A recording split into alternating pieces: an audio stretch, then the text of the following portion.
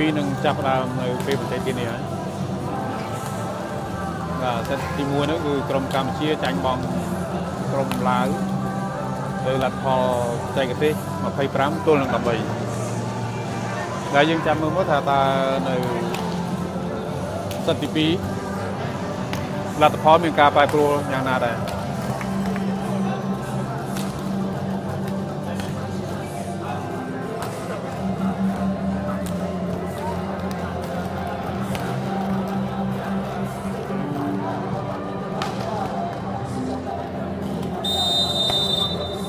សិតទី2ចាប់ផ្ដើមហើយ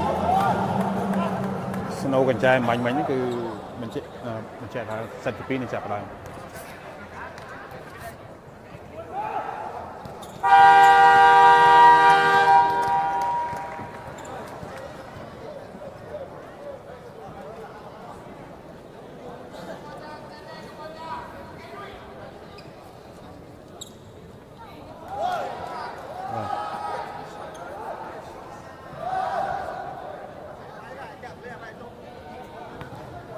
ហើយយើងរងចាំមើលលទ្ធផលនៃសិតទី2ជាបន្តទៀត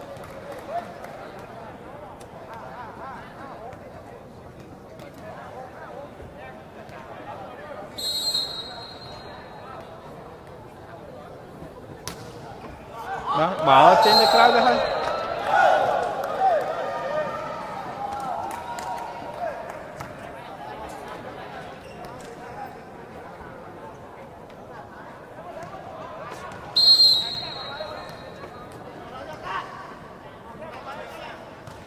បាទ វាយស្រាលស្រាល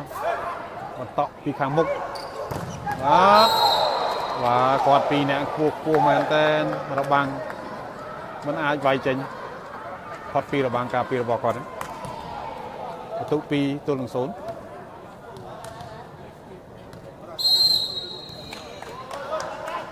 បាទសេវាពីខាងក្រមថៃបាទបាទរបៀបដដែលដែលគឺគាត់វាយបន្តក់បន្តក់ ក្រុមកម្ពុជាធ្វើមិនបានល្អដោយសារបាល់ពោះចេញទៅខាងក្រៅទីលាន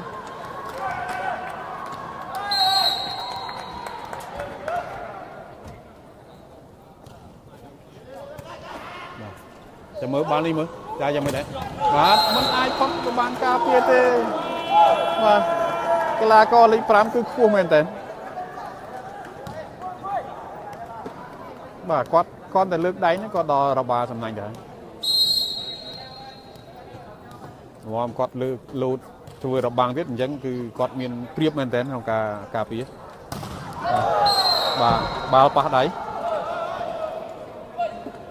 អញ្ចឹងបន្ទុកបានមកខាងក្រុមកម្ពុជា1ទល់នឹង4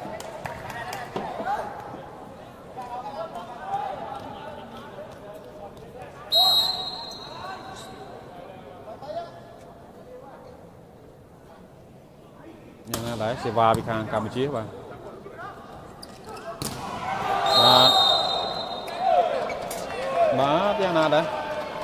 បាល់បានមកបន្ទុកបានមកខាងក្រុមថៃ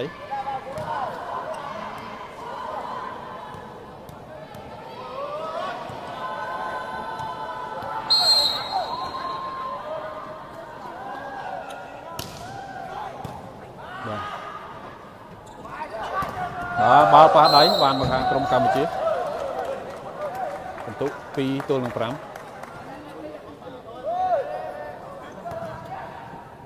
បាទបើសិនបើយើងព្យាយាមវាយឲ្យចូលលិចទៅក្នុងគេហៅវាយលិចខាងក្នុងទីលានគឺមិនងាយនឹងឆ្លងរបាំងរបស់ក្រុមថៃទេគឺដោយសារតែពួកគាត់មានកម្ពស់ខ្ពស់ខ្ពស់ណាស់បាទបាទបាល់លឿនលឿនតែម្ដង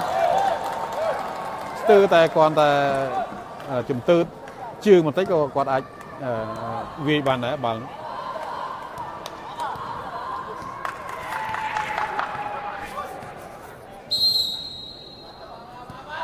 បាទជាបន្តទៀតបាទបាទគួរឲ្យស្ដាយតាមមុតបាល់មិញមិញបាល់កីឡាករគិតតែចេញប៉ុន្តែគាត់លើកដៃដកវិញមិនទាន់ក៏ប៉ះដៃបន្តិចអញ្ចឹងបន្ទុកបាននៅខាងក្រុមថៃ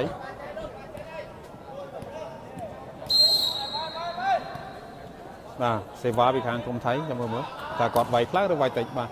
តិចទេបាទបាទចេញក្រៅបាទបាល់ពីមុនដែលប៉ះដៃកីឡាករសុភាក៏បានក៏ចេញក្រៅដែរប៉ុន្តែកីឡាករសុភាដកមិនតាន់បាទដកដៃមិនតាន់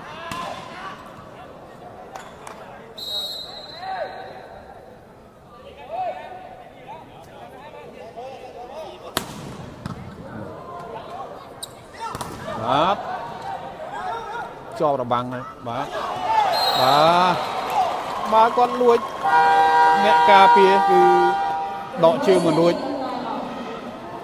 បាទបាទសម្រាប់បច្ចេកទេសនៅក្នុងសិតទី2លើកទី1ក្រុមកម្ពុជា3ក្រុមថៃ8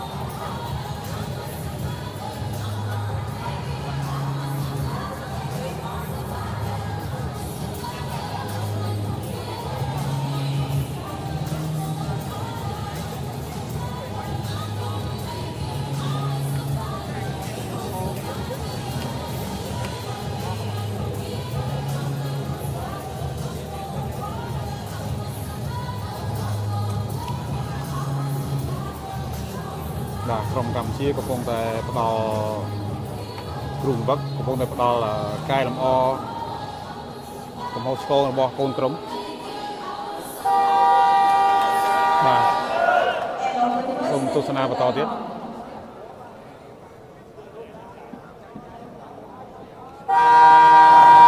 Substitution by Thailand, number 17 out, number 4 Sanseki Isakin. Number 1 out, number 13 Manewong Mawin in.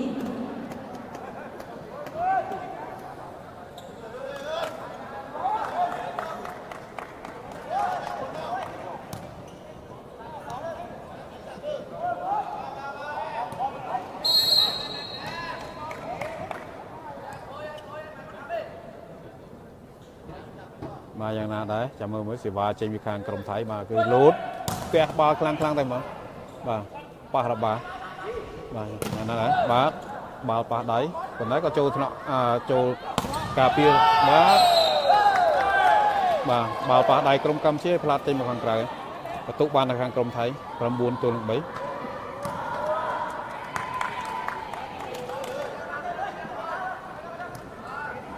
បាទសេវាចេញពីខាងក្រុមថៃ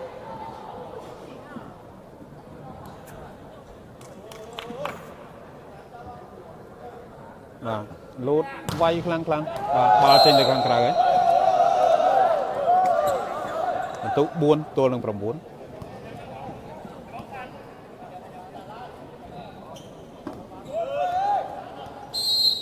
បាទសេវាចេញពីក្រុមកម្ពុជាញ៉ាំណាដែរបើចេញក្រៅដូចគ្នាបាទអំបញ្ញមិញថៃផ្ដល់ បន្ទុកមួយបន្ទុក free free ឲ្យកម្ពុជាឥឡូវកម្ពុជា free ឲ្យថៃវិញមួយវិញម្ដងបាទបាទ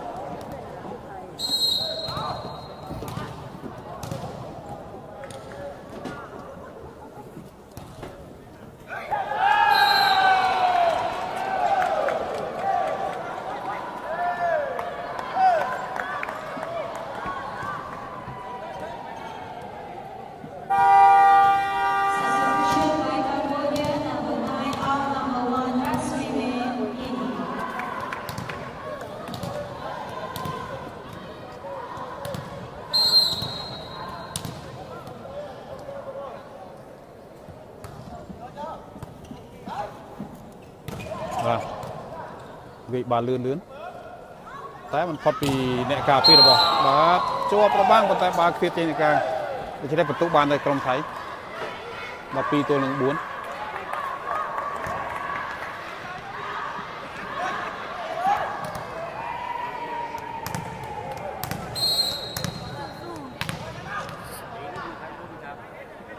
បាទតទៀតយ៉ាងណាដែរបាល់នេះបាទអូបាទ ចាសឹងគ្រូបានទេបាទសឹងគ្រូបានបាទក្រុមកម្ពុជាវាយស្រាលស្រាលបាទគូឲ្យស្ដាយ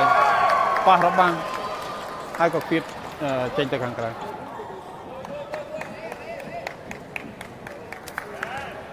បាទ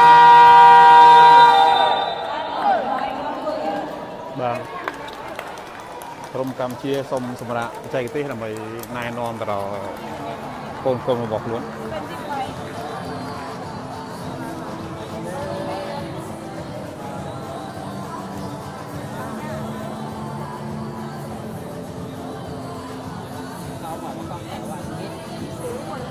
ាទចាំមកមើលថាតើក្រុមកម្ពុជាយើងកែប្រែស្ថានភាពយ៉ាងណាទៀតក្រោយពីសម្រាប់សូមសម្រាប់បច្ចេកទេសបាទទស្សនាបន្ត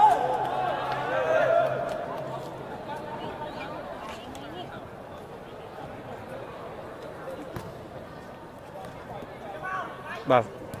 សូមចាប់ប្លង់ចង្អៀនតិចដើម្បីចាំមើលមើលតើអឺបង្ហាញអំពីអឺអ្នកវាយនិងអ្នកអឺធ្វើរបាំងតើ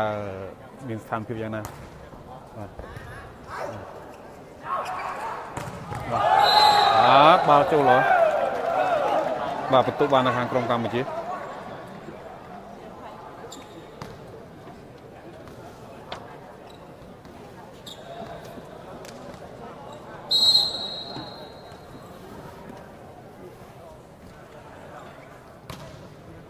បាទបាទចេញទៅហើយការបម្រើសេវាមិនបានល្អ Substitution by Thailand. Number 9 out. Number 16, Kumi Nakapat in. បាទកីឡាករថៃ4នាក់នេះគឺខ្ពស់ខ្ពស់ល្អមែនតើបាទកីឡាករ16កីឡាករលេខ5នេះ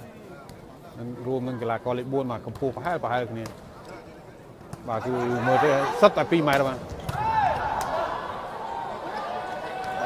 បាទបាទចេញខាងក្រៅបន្ទុកបាននៅខាងក្រុមកម្ពុជា14អា6ទល់នឹង14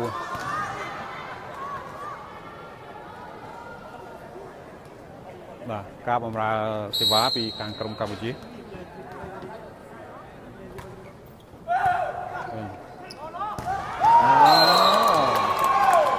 ស្ទើរតែនឹងខូចទៅហើយប៉ុន្តែគាត់កែស្ថានភាពបានហើយបានវាយចូលទៅក្នុងទីលានរបស់កម្ពុជាបន្ទុក15ទល់នឹង6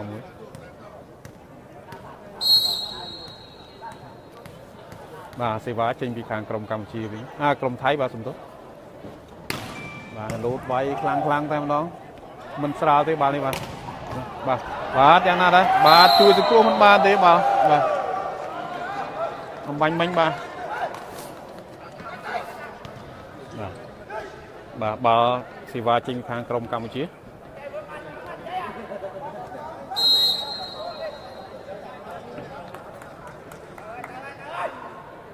បាទលោតវាយមិនបានលោបាល់ចេញទៅក្រៅយ៉ាងឆ្ងាយគួរឲ្យសោកស្ដាយក្រុមកម្ពុជាបាទសម្រាប់បច្ចេកទេសលើកទី2 16ក្រុមថៃបាន16ក្រុមកម្ពុជាបាន7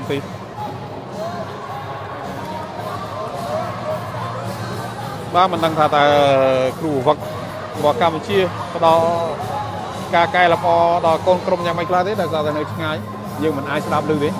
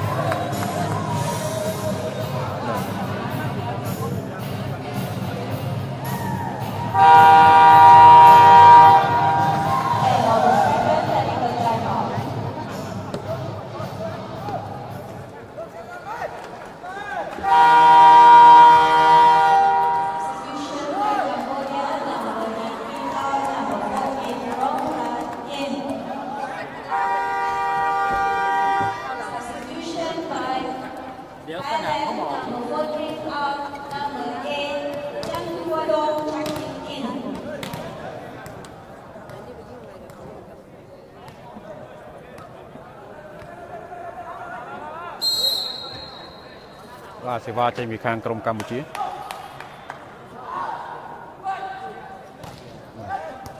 លោកវាយប៉ុន្តែបាល់ស្រាលស្រាលទេយ៉ាងណាដែរបាទបាទទទួលបានមួយបន្ទុកវិញដោយបាល់ប៉ះដៃ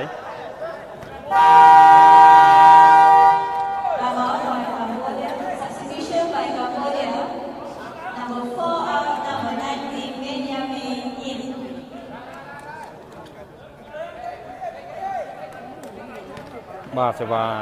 ចេញពីខាងក្រុងកម្ពុជា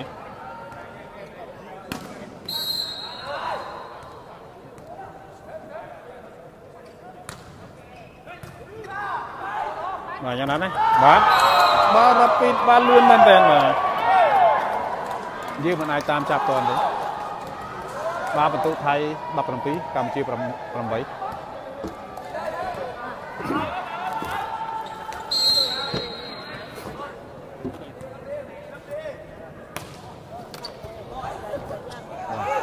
យ៉ាងណាដែរបាល់នេះបាទបាទ ប៉ះរបាំងប៉ុន្តែបាល់ជៀបចេញមកទៅខាងក្រៅទីលានអញ្ចឹងបន្ទុកបានទៅខាងក្រុមកម្ពុជា25%អ9ឺទល់នឹង6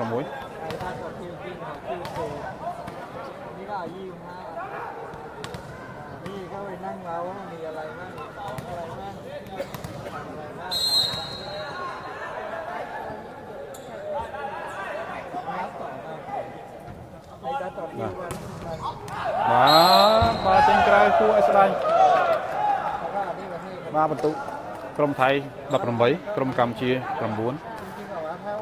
បាទពេលនេះសេវាចេញពីខាងក្រុមថៃម្ដងចាំមើលមើលថាតើគាត់លោតវាឬក៏គាត់គ្រាន់តែវាតិចតិចស្រាស្រាបាទមើលទៅត្រៀមលក្ខណៈសម្បត្តិបាទវាខ្លាំងយកតែម្ដងបាទយើងទទួលបានបាទល្អមែនតើបាទ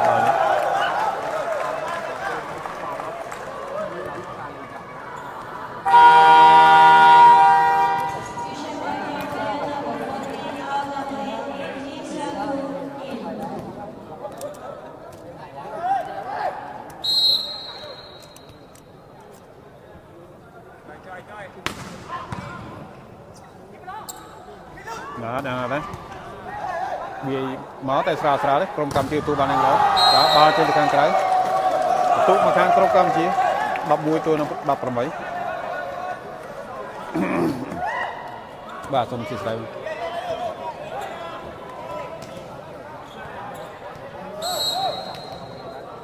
បាទសេវាទៅខាងក្រុមកម្ពុជាបាទយ៉ាងណាដែរបាទបាទ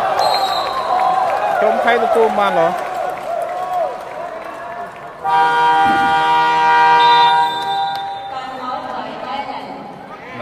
ក្រុមថៃបានសុំសម្រាប់ចែកទេម្ដងបាទការសុំសម្រាប់ចែកទេនោះមួយក្រុមអាចសុំក្រៅពីការសម្រាប់ចែកទេដែលកំណត់ដោយច្បាប់នៃការប្រកួតក្រុមនីមួយៗអាចសុំសម្រាប់បាន2ដងដូច្នេះ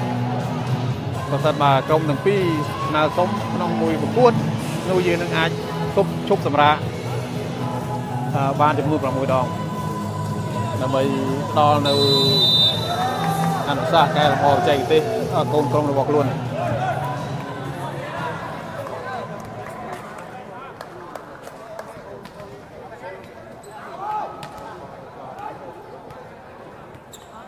បាទ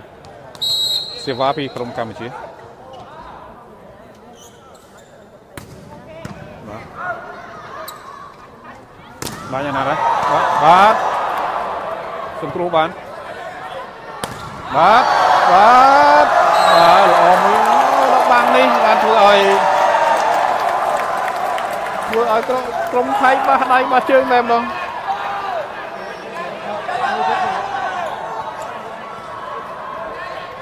បាទបន្ទុក13ទួលនឹង18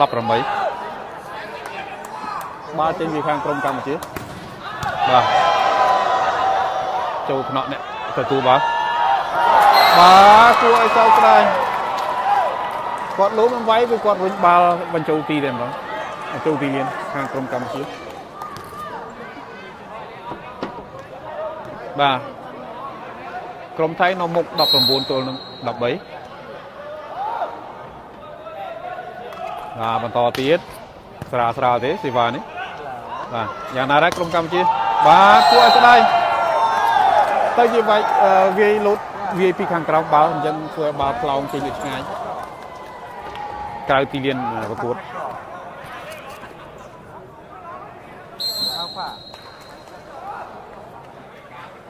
ជាបន្តទៀតបាទក្រុមថៃសេវាខាងក្រុមថៃបាទយ៉ាងណាដែរ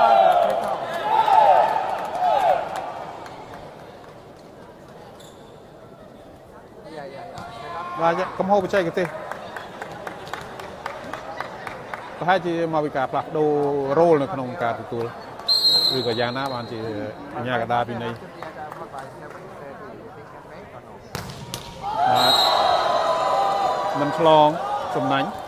ក្រុមកម្ពុជា14ក្រុមថៃ21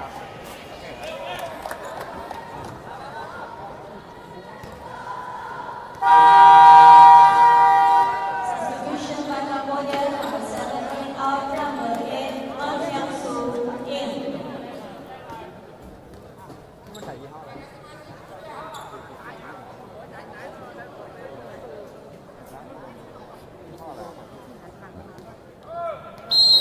បាទសេវាចេញពីក្រុមកម្ពុជាបាទទទួលបានយ៉ាងល្អវាយលឿនលឿនបាទក្រុមកម្ពុជាមិនអាចការពារតាន់ទេបន្ទុក22ទល់នឹង14 បាទ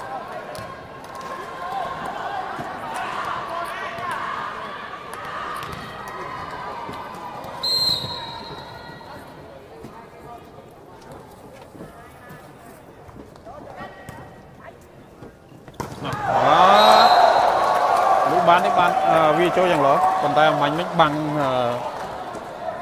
អ្នកអឺទូមកមកទស្សនាទាំងអស់គ្នាប៉ុន្តែគាត់ឆ្លងបាំងពីមុខយើងធ្វើឲ្យយើងមិនអាចមើលឃើញពីសកម្មភាពដ៏ល្អដែលវាយចូលមួយកប់អមាញ់មិញដល់មកដែរបាទបាទបាទមកកីឡាករថៃដណ្ដើមលើទូបាល់អញ្ចឹងធ្វើឲ្យមិនអាចអឺបាល់បានល្អបាទ ក្រុមកម្ពុជាតាមពីក្រោយ16ទល់ដល់22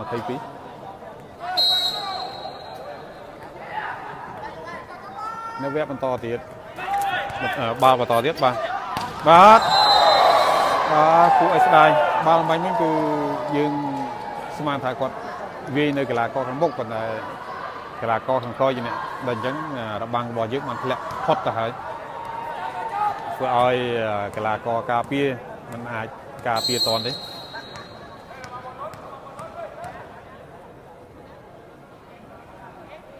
បាទសេវាពីខាងក្រុមថៃបាទបាទយើងទទួលបានមិនអីទេបាទនេះបាទយើងវាយបានទៀតបាទណាបាទចូលថ្នាក់អ្នកការពារដូចគ្នាតែណាវិបាលនេះយើងការពារបានទេបាទល្អណាស់បាទបាទរបាំងធ្លាក់មកខាងមុខកីឡាករថៃមិនអាចទទួលបានបាទបន្ទុកតាមពីក្រោយ17ទល់នឹង23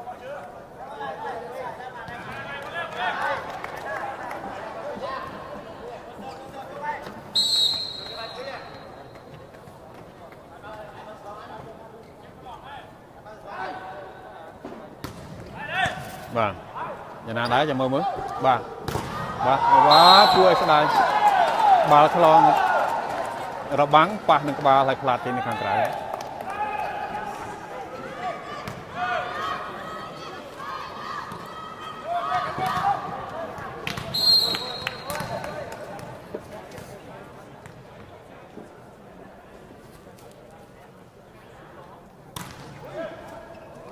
បាទចាប់បាល់មិនសូវបានល្អទេបាញ់មិញ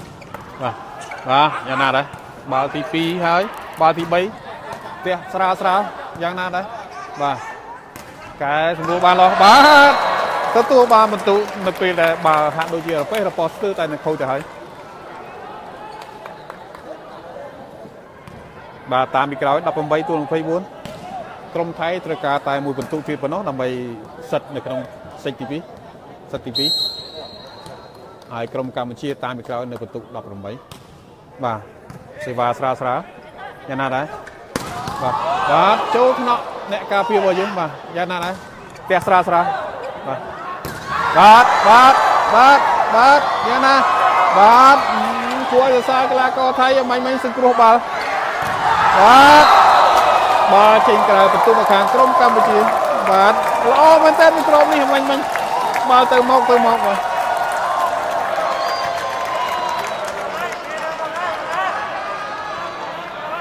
បាទក្រុមកម្ពុជាគឺបានទទួលការគ្រប់គ្រងពីមិត្តអ្នកទស្សនាខាងក្រៅជាជនជាតិម៉ាឡេស៊ីទៅវិញបាទគាត់បាទគួរសោកស្ដាយបាទសិតទី2នេះបានទៅលើក្រុមថៃនៅពិន្ទុ25ទល់នឹង19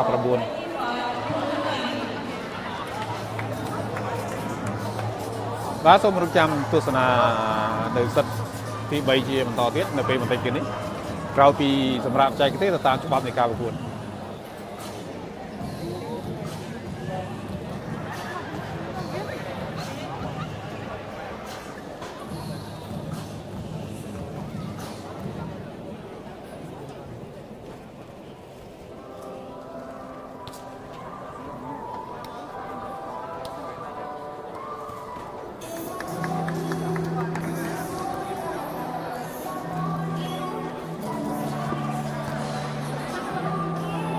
បាទគ្រូឧបកំពុងតែផ្ដល់ការកែលម្អបច្ចេកទេសដល់កូនក្រុមរបស់ខ្លួន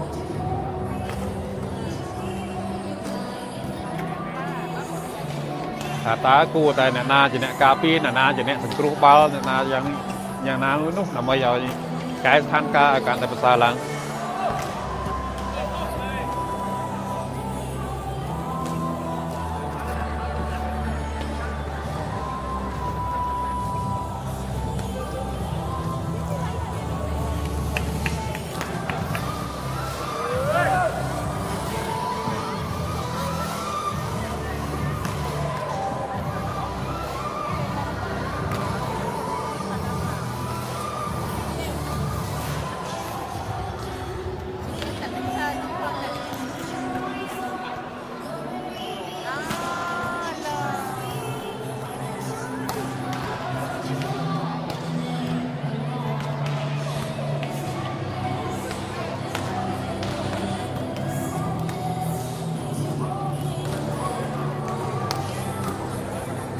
បាទប៉ុន្តែនៅម្ខាងនៅខាងនោះបាទគឺមានទង់ជាតិរបស់កម្ពុជាមួយបាទប្រហែលជាប្រជាពលរដ្ឋកម្ពុជាយើងដែលកំពុងស្នាក់នៅនឹងអឺធ្វើការនៅប្រទេសម៉ាឡេស៊ីបាទក្រុមគាត់បាទនៅខាងនេះបាទគឺមានទង់ជាតិមួយចងទម្លាក់មកខាងមុខកន្លែងដែលគាត់ពួកគាត់អង្គុយបាទប្រកាសណាស់បាទជាប្រជាពលរដ្ឋខ្មែរយើងហ្នឹង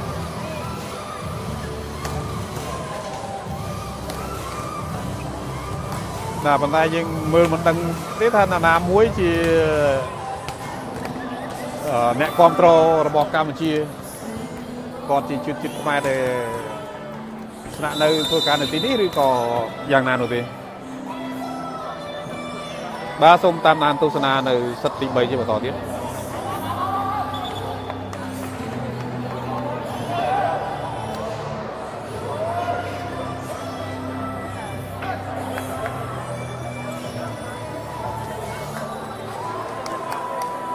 សិតទី3តែសិតទី2កន្លងទៅក្រុមថៃបាននាំមុខ25ទល់នឹង13និងសិតទី2គឺ25ទល់នឹង9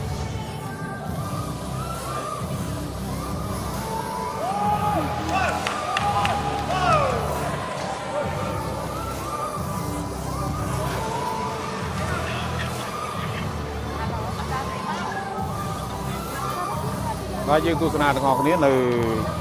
សិតទី3នេះដោយបាល់បំរើសេវាពីខាងក្រុមថៃ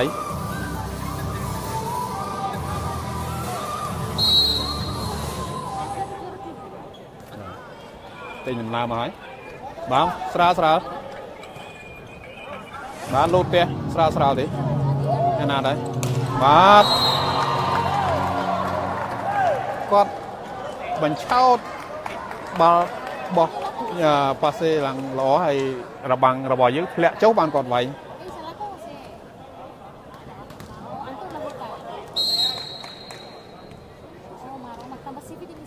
បាទស្រាលស្រាលទៀតបាទមិនអាចឆ្លងរបាំងទេជាយម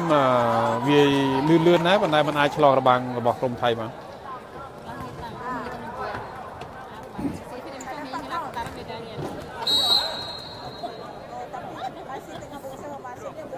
ទៀតឯណាដែរបាទបាទបាទបាទអត់ឆ្លងទេបន្ទុកមកខាងក្រុមកម្ពុជា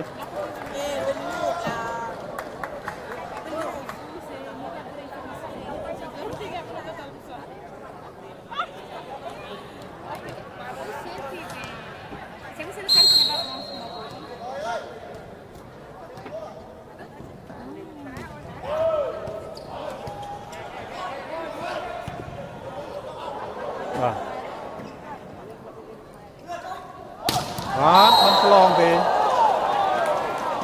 បន្ទុក្រុមថៃ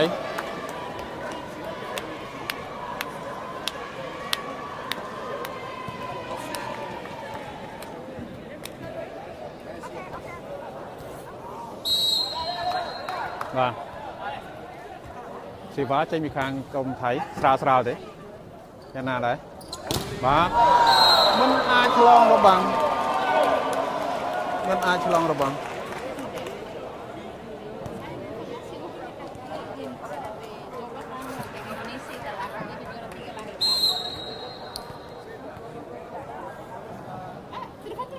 សេវាបម្រើពីខាងក្រុមថៃបន្តបាទគាត់ប្រ ធ្វើសេវាស្រាលស្រាលតែគឺវាបន្តពីកមុខបាទយ៉ាងម៉េចដែរបន្ទុកបាទគឺប្រហែលជាបាល់ពីរប៉ះតែម្នាក់ឯងបាទមិនហ្នឹង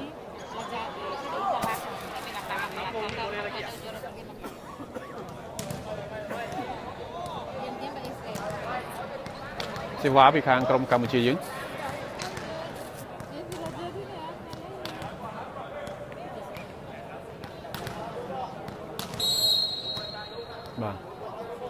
បាទចេញមកហើយ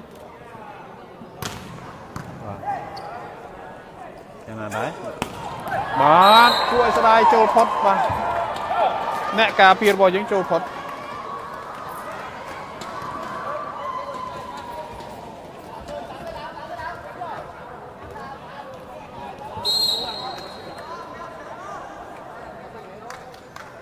បាទសេវាពីខាងក្រុមថៃបានមិនឆ្លងសម្លាញ់ទេបន្ទុក3ទល់នឹង5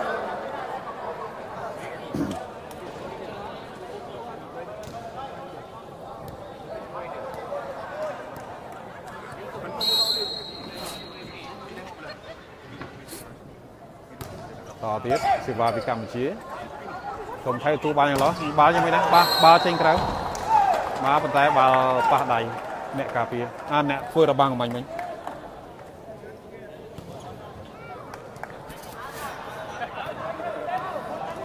យ៉ាងណាដែរបាននិស្សិតទី3នេះបន្ទុកមិនសូវជាដាច់គ្នាឆ្ងាយដោយសិតមុនមុនទេក្រុមថៃ6ក្រុមកម្ពុជា3បាទបាល់នេះយ៉ាងម៉េចដែរបាទ បាល់បន្ទុកមកខាងក្រុមកម្ពុជាបាទវាខ្សែត្រង់បានយ៉ាងល្អ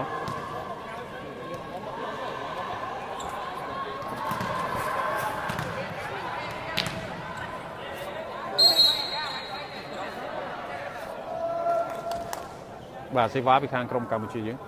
បាទលូតវាយខ្លាំងខ្លាំងមកហើយបាទជាមួយយ៉ាងណាដែរបាទបាល់គាត់លេងលឿនបាទគឺ ចំណុចនេះគឺកីឡាករកម្ពុជាកម្រនឹងការពារតនណាក្នុងការប្រកួតពីសិតពីសិតកន្លងមកនេះយើងឃើញថាក្រុមកម្ពុជាគឺមិនដែលការពារតនទេក្នុងករណីលេងបាល់លឿនលឿនបែបនេះបាទទទួលបានយ៉ាងល្អយ៉ាងម៉េចដែរវាយបាទបាល់នេះបាទបាទបាទល្អមែនតើអ្នកការពាររបស់កម្ពុជាយើងស្រាលស្រាលមកយ៉ាងម៉េចដែរ បាទចូលថ្នាក់មួយទៀតណាមួយជាប់នេះស្វាត់ស្វាញបាទយើងក៏លួចវិញដែរប៉ុន្តែមិនបានល្អទេបាទគួរឲ្យស្ដាយអំបញ្ញមិញបាទមិនបានទទួលមិនបានល្អខ្លាចចេញបាទសម្រាប់ចែកទេនៅសិតទី3លើកទី1គឺបន្ទុក8ទល់នឹង4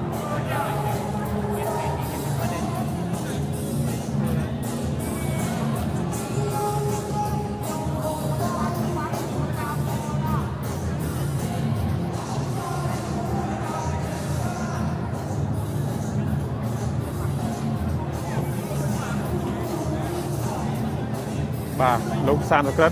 ជាគ្រូបង្វឹករបស់ក្រមកម្ពុជាកំពុងតែផ្ដល់ការកែលម្អបច្ចេកទេសដល់កូនក្រុមរបស់ខ្លួនណាបាទយើងចាំមើលមើលថាបន្តិចទៀតនេះមានមានអ្វីខ្លះប្រែប្រួលបាទសូមទស្សនាបន្ត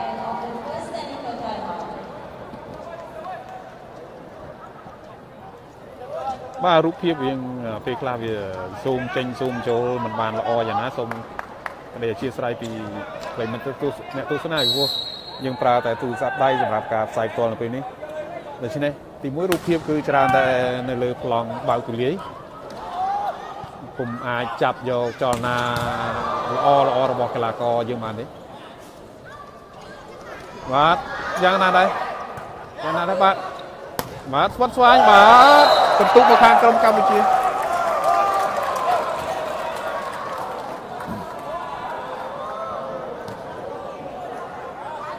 បាទ5ទួនឹង8បាទសេវាពីខាងក្រុមកម្ពុជា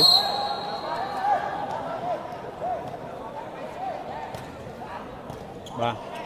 សេវាអាទទួលសេវាមិនសូវបានល្អប៉ុន្តែយ៉ាងណាបាទ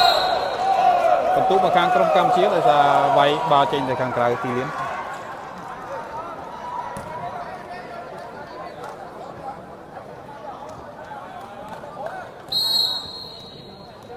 បាទសេវាពីខាងក្រុមកម្ពុជាផ្ទះស្រាលស្រាលមកទេបាទបាទចំណុចនេះបាទគឺក្រុមកម្ពុជាដូចជាមិនតាន់ចាប់បច្ចេកទេសក្រុមថៃបានដល់ឡើយ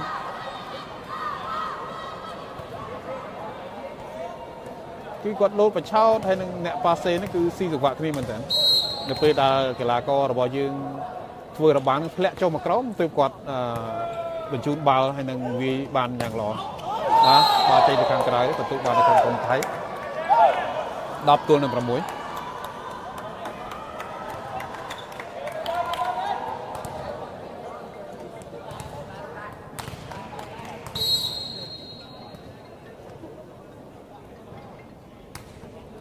បាទ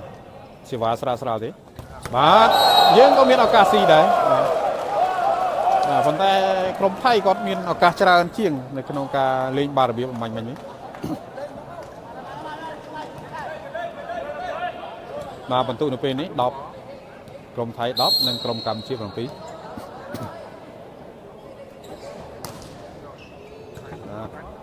យ៉ាងណាដែរបាទបាទគាត់បញ្ឆោតបាទគាត់បញ្ឆោតក្រុមកម្ពុជាបានយ៉ាងល្អ ធ្វើឲ្យយើងប្រុងប្រៀបនឹងទទួលបាល់ដែលគាត់វាយប៉ុន្តែគាត់បែរជារុញទម្លាក់បាល់ស្រាលស្រាលតាមចែកទេ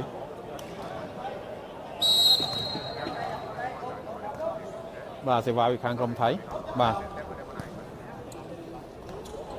បាទយ៉ាងណាដែរទៅវិញទៅមកបាទបន្ទូខាងក្រុមកម្ពុជាដោយមិនរងចាំបាល់ទី3ទេបាទគឺគាត់លេងតែពីរប៉ះហើយរុញទម្លាក់ទៅ ដើម្បីទទួលបានបន្ទូនៅពេលនេះ8ទល់នឹង11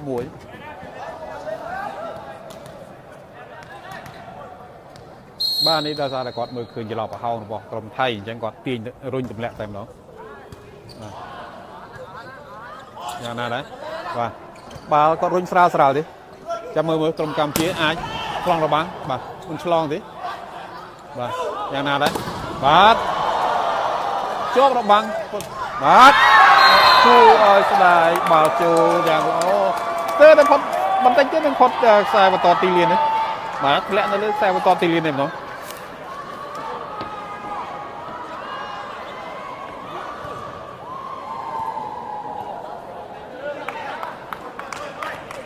សេវាពីខាងក្រុមថៃបន្ទុកពេលនេះគឺ12ទល់នឹង8បាទយ៉ាងណាដែរក្រុមកម្ពុជាបាទ បាទបាទចេតនាមិញមិញប្រហែលជាកីឡាករអឺមានចេតនាធ្វើឲ្យបាល់ប៉ះដៃហើយធ្លាក់ទៅខាងក្រៅប៉ុន្តែมันបានប៉ះដៃក្រុមថៃទេ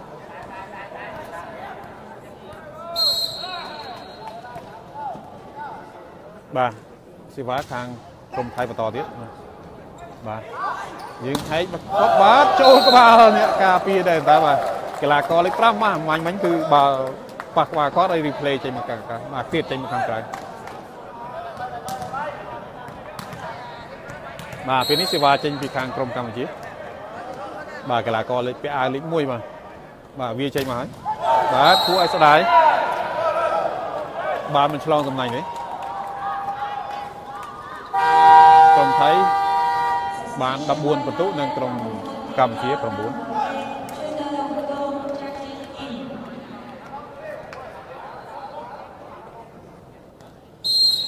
បាទសេវាបំរើពីខាងក្រុមថៃចេញបាល់មកហើយបាទបាទសងមួយពិន្ទុវិញបាទកុំឲ្យក្រុមកម្ពុជាអន់ចិត្តមិនទៅបាទបាញ់មិញក្រុមកម្ពុជាអឺវាយសេវាមកតាក់សំណាញ់ដល់ក្រុមថៃតាក់សំណាញ់មួយគ្រាប់វិញដែរបាទ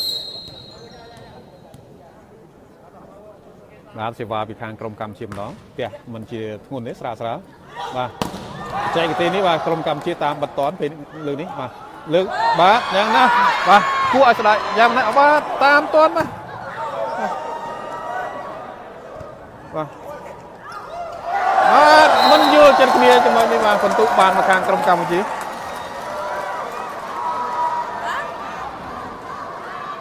11ទល់នឹង14បាទចំពោះបន្ទុកមិនពិបាកអឺមើលទេបាទដោយសារតែឈោមជាមួយនឹងកាមេរ៉ាដែលយើងថតផ្សាយតែម្ដង បាទបាទយ៉ាងណាដែរបាទវាយបាល់ធ្លាក់តាមរបាំងមកខាងក្រោមបន្ទុកទៅខាងក្រុមថៃ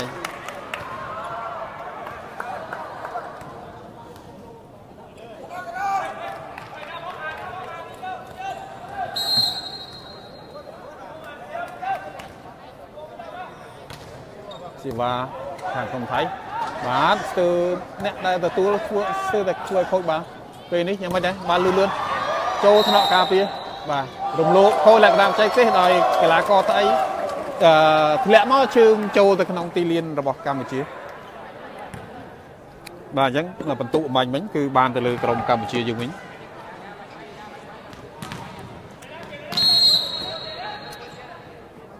បាទទស្សនាបន្តទៀតសេវាចេញពីខាងក្រុមកម្ពុជាយើងបាទគឺខ្លាំងខ្លាំងតែម្ដងមិនមិញ បាទបាល់ចេញក្រៅបន្ទុកបាទដល់ខាងក្រុមកម្ពុជា13ទល់15បាទតាមប្រកាសពីក្រោយលើកនេះបាទមើល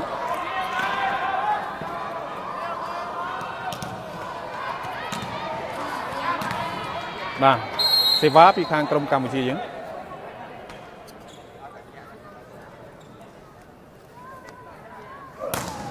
បាទសេវាខ្លាំងខ្លាំង បាទគួរឲ្យស្ដាយជាប់របាំងប៉ុន្តែបាល់គៀតចេញខាងក្រៅបន្ទុកបានទៅខាងក្រុមថៃ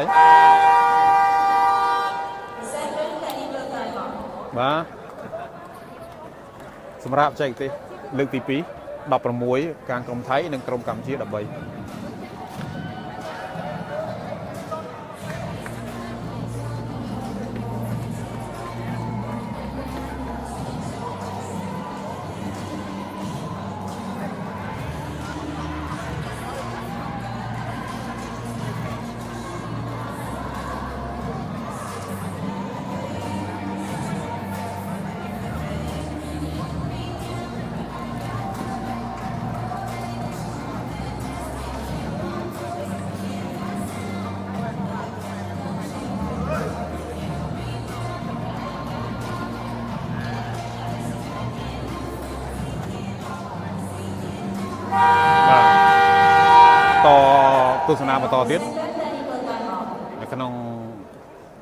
13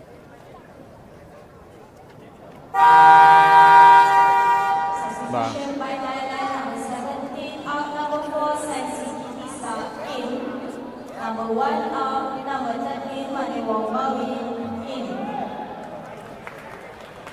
បាទទស្សនាបន្តទៀតដោយបាល់សេវាចេញពីក្រុមថៃយើងចាំមើលមើលតើតើអឺ បាល់បន្តពីសម្រាប់បច្ចេកទេសបន្ទុកបានទៅខាងណាដែលបាទលោតវាយខ្លាំងខ្លាំងតែម្ដងបាទយើងក៏ទទួលបានដែរយ៉ាងណាដែរបាទទៅមកទៅមកទៅសិតតែចូលថ្នាក់អ្នកការពារបាទគួរឲ្យស្ដាយចូលរបាំងប៉ុន្តែបាល់គៀបចេញទៅក្រៅបន្ទុកបាននៅខាងក្រុមថៃ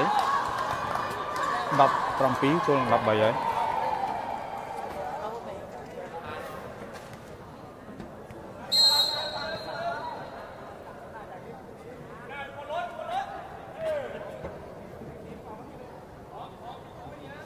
បាទគាត់ លោតវាយខ្លាំងតែម្ដងបាទ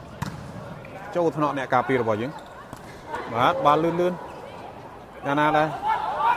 បាល់នេះបាទបាទគួរឲ្យស្ដាយឆ្លងរបាំងហើយចូលទីលានហើយបាល់ក៏ប៉ះដៃរបាំងការពាររបស់យើងដែរ Timeout by Cambodia. បាទសូមសម្រាប់បច្ចេកទេសរបស់ក្រុមកម្ពុជាបាទគ្រូបង្វឹកកំពុងតែ ផ្ដល់ចំណុចកែលម្អដល់កូនក្រុម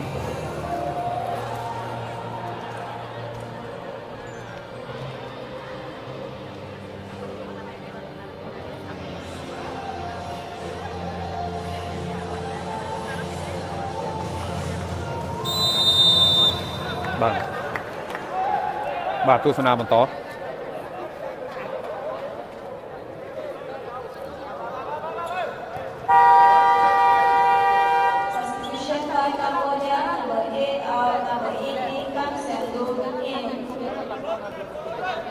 Number 11 out, number 17, Jana Rosun in.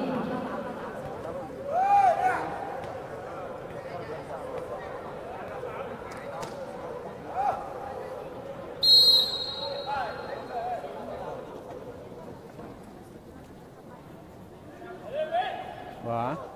ចេញមកហើយបាទបាទយ៉ាងណាដែរ បាទបាទបាទបាទសុទ្ធតែចូលថ្នាក់អ្នកការពារបាទបន្ទុកបានមកខាងក្រុមកម្ពុជាដោយជាប់របាំងណាពីបីបាល់អំបញ្ញមិញគឺល្អបាទឆ្លងទៅឆ្លងមកបាទពេលនេះគឺសេវាចេញខាងក្រុមកម្ពុជា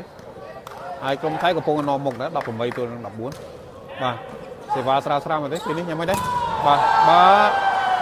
ចោររបាំង ប៉ុន្តែបើគៀតទៅយ៉ាងក្រៅបន្ទុកបានខាងក្រុមថៃ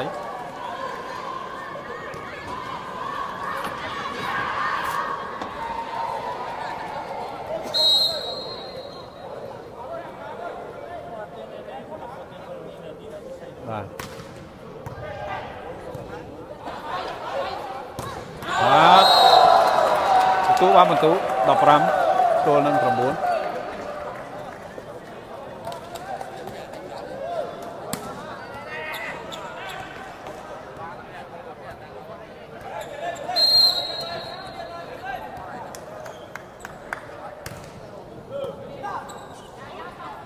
យ៉ាងណាដែរបាទបាទគួរឲ្យស្ដាយជាប់របាំងប៉ុន្តែបើគៀតចេញទៅខាងក្រៅ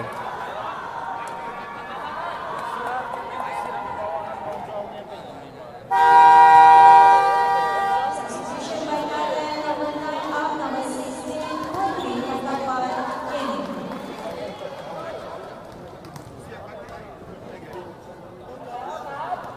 បាទសេវាពីខាងក្រុមថៃបាទ កីឡាករលេខ10បាទ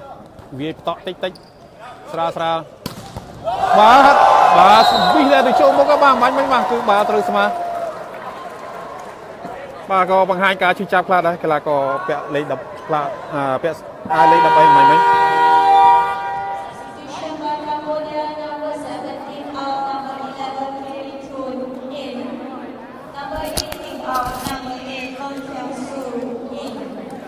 បាទបន្ទុកតាមពីក្រោយ16ទល់នឹង20ស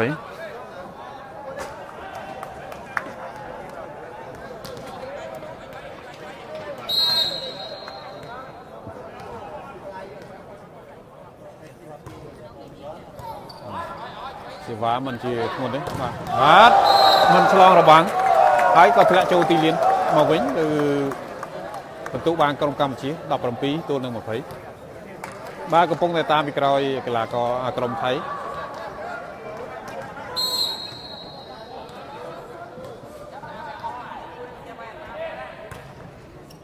បាទ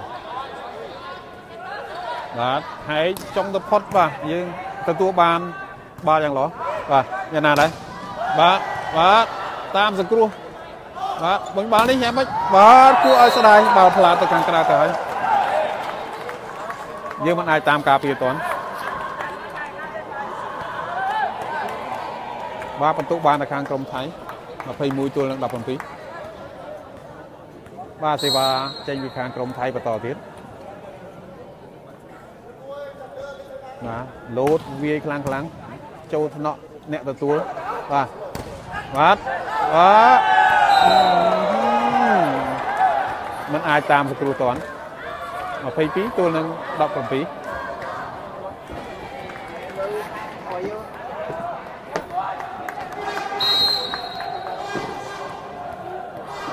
បន្តចេញសេវាដោយក្រុមថៃបាទខ្លាំងមែនតែនចូល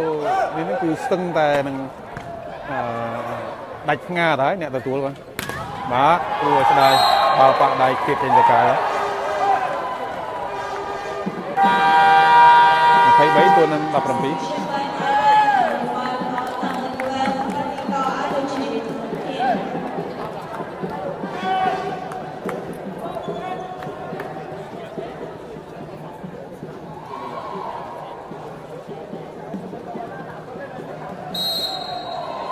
បាទជាមួយបន្តិចទៀតនេះយ៉ាងណាដែរ